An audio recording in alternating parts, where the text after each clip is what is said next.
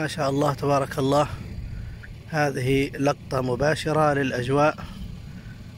غرب محافظة بيش. اليوم الاثنين السادس عشر من شهر ذي الحجة. ما شاء الله. اللهم نسألك الغيث.